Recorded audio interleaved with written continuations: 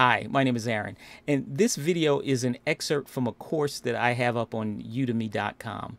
Um, if you want to go check it out, there's a link down below, and there, there are a lot more preview videos that you can see if you want to learn about Photopea. I'll also be uploading more here on YouTube, but again, if you want to see all the, that I have, check those out. There's a number of them for free, and if you're interested in taking the full course, send me a message down here and I'll give you a code where you can get it at a much cheaper price.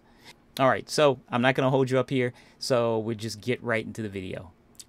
Hi, in this video, I want to show you how to do the, a pixel stretch effect. I've seen this done many times in Photoshop, and I want to do it in Photopea.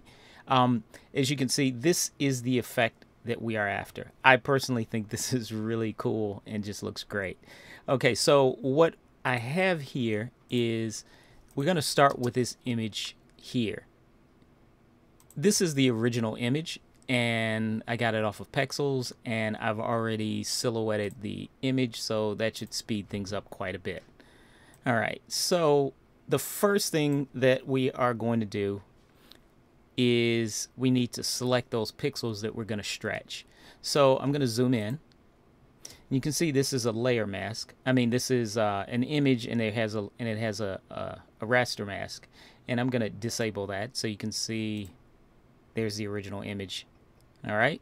So I'm going to enable that raster mask. So what we need to do is make the selection. Make sure you are on the layer and on the image, not the the raster mask. All right. So basically, what we're going to do is we're going to select a strip of colors a line of colors and then stretch them out. All right, so the image that I've chosen is very colorful and I can use it to move that, you know, move across the image. So make sure if you're doing something original, try to find something colorful. It'll make it a, a bit more interesting. All right, so I'm going to come over, first I'm going to zoom in a little. Then I'm going to come over here to my rectangle, rectangle select tool. And I'm going to drag down in this area right here because you can see I can get a nice band of color coming through, you know, his mouth, his teeth, and down and down here. Okay, so well, actually I'm going to skip the teeth. I'm going to go maybe here. There's a little bit of red and green in there in his hat. And I'm going to come down here. All right, and you can see that little box next to my cursor is telling me how wide, there's the, the width and the height of this pixel box of the selection that I'm making. And I'm going to drag inward and try to get it between 1 and 6 pixels, or 1 and 5 pixels. If I can get 1, that would be awesome. I don't think I can. I got 1. Release. All right, so I've made the selection. You just can't see it. So what I need to do is I'm going to duplicate this layer. I'm, going to copy and paste that. So, but I'm going to do this by going Command J. And you see in my layers panel that duplicated. If on a, if I'm on a PC, that would probably be Control J. So I'm going to turn that off, and you can see there's just this little strip right here. All right. So from that strip, I can stretch this out. But if I turn this on, well, actually, I'm going to stretch it out. And then we're going to do it again because that only came down to here. And I also want to get his foot in here. So I want to get across this area here. So I'm going to stretch the first one out. So I'm going to come back to this layer where I copied it. Although it has this layer mask, I'm going to right click and delete raster mask right here so we don't need that. Turn that off. Now I'm going to go edit transform. Edit. Well, I'm going to go with free transform. Command T, or sorry, Control T. All right. Now I'm going to drag this out, and I get this little weird box that comes off the first time. I don't know what that is. So I'm going to do it a second time. You can see I got this perfect bit of line this perfect strip of color. Okay, so I'm going to stop there, and I'll fix that when I go to, um, when I zoom out and I can stretch it all the way to the end. But for now, I'm just going to check the confirm button. Now I'm going to come back to this guy, drag him to the top, and I'm going to try to get this next strip to come down through his foot and connect to there. So I'm going to, I'm on the rectangle select tool, and I'm going to come right up from the tip of his toe and connect it to there. I'm at three pixels wide. Let's see if I can get one. Oh, I had one. Got it. One. Release. It'll be, if you get longer, you're going to see there'll be some slight variation, but if you can get one pixel, uh, that would be the best. All right, so again, rather than do the Command J again, this time I'm going to show you another way. Okay, so make sure you're on the image, on the, you know, of the with the guy. I'm going I'm going to label that guy. And make sure you're on the image, not the layer mask, and I'm going to go edit, copy. And then I'm going to make a new layer. And then I'm going to go edit, paste. All right, so now we have that second layer. So I'm going to turn everything off except the visibility of each of those, except for this, this second stripe layer. All right, so I'm going to zoom out just a little bit so I can see the other one. One uh, spread out, but I'm going to stretch this out. So edit, free transform, or control T and then I'm gonna click drag and I get that first little box. And then I'm gonna you see I get the horizontal double-headed arrow and I can drag this out. And this one I'm gonna take all the way to the end. Alright I'm gonna release. And I'm gonna hit that confirm mark or hit the enter key. Now I'm gonna turn the other one on and we got we have to stretch that out a little bit more. Alright so I'm gonna select it. So I'm gonna select it and I'm gonna go control T and stretch that out till we get to the end of our document. Okay, so from here, I'll hit the accept mark. I'm going to turn the guy back on, put him on top, and see what this looks like. Okay, that looks pretty good. Actually, I'm going to stretch that all the way over. I'm going to go Control T and stretch this all the way over till it gets to this knee. I can always change my mind and change it up. And I'm going to hit the enter key. All right, so now we have both of these. I'm going to merge them.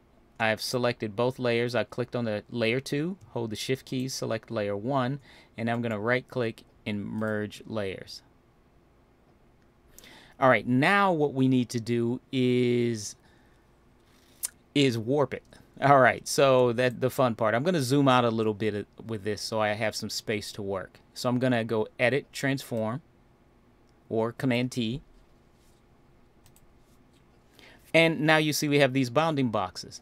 But up here you see we have this button right here that says Warp. I'm going to click on that. And you see I instantly got these little buttons in the middle and these up here. All right, so here is how we're going to warp it. So I'm going to click on this little box right here and drag upward. And I'm going to drag that up to maybe past the top here.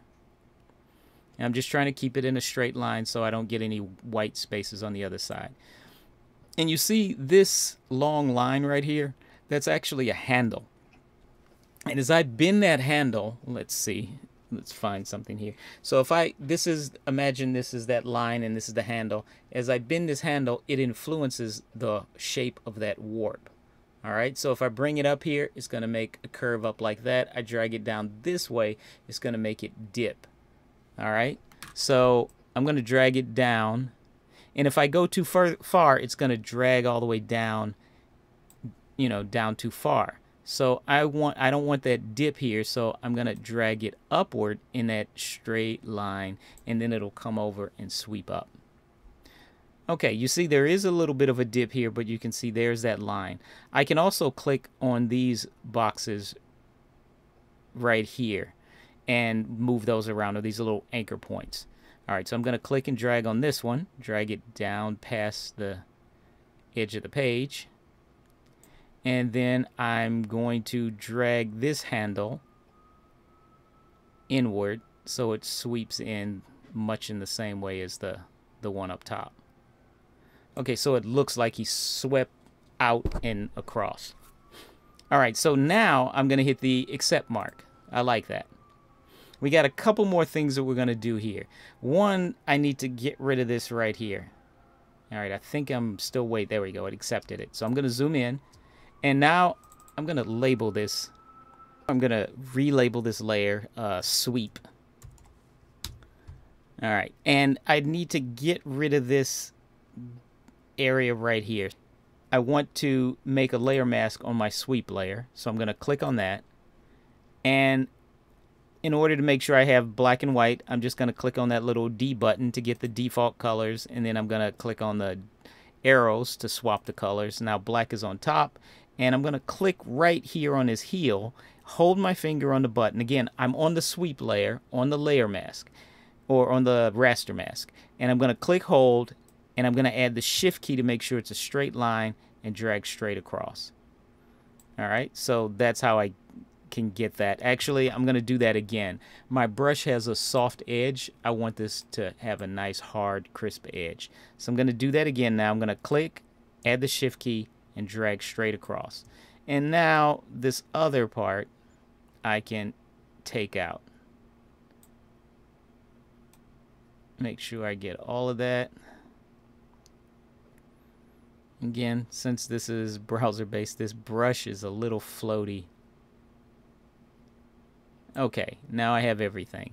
All right, so I'm going to zoom out. Now, I want to add a drop shadow to this figure, but the problem I'm going to have with this, if I add a drop shadow, it's going to show up on both the right and left side, or, you know, in these areas here. So rather than just make a normal drop shadow, I am going to duplicate this layer with the guy.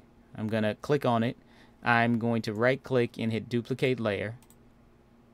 In this one, I'm going to apply the raster mask. So now I only have the image of that guy. This time I'm going to go to image. Um, this is a destructive, but I, it, it's not so such a big deal because it is a, um, a copy. So here I'm going to go to exposure and I'm going to drag it all the way to black.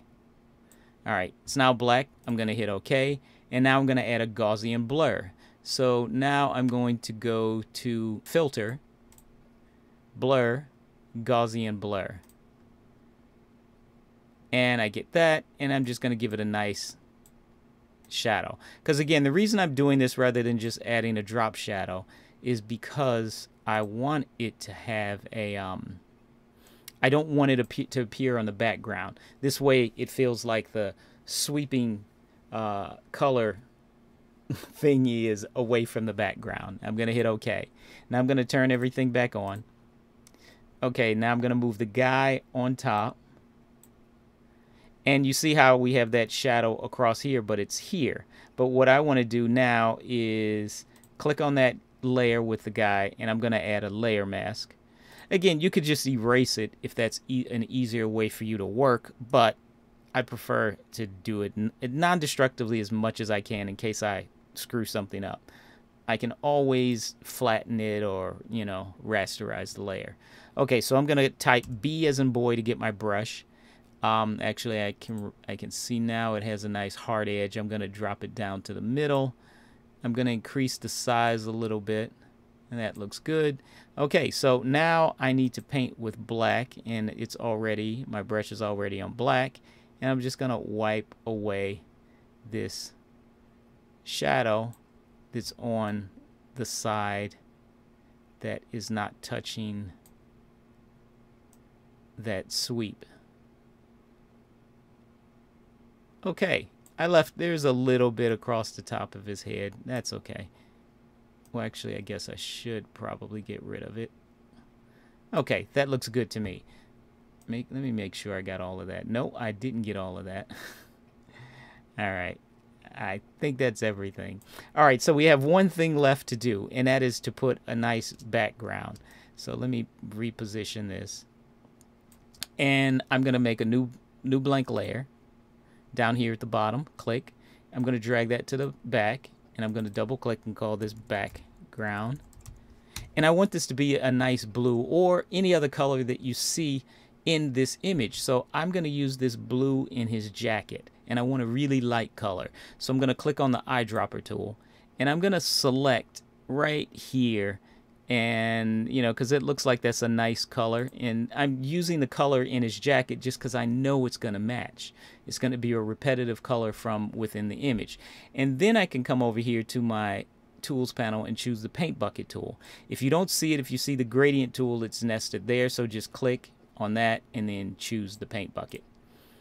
And I've already selected the color. You can see there's the color right here, although it's a little dark, but let's see. I'm just going to click here in the background layer, and it's selected here, and see what happens.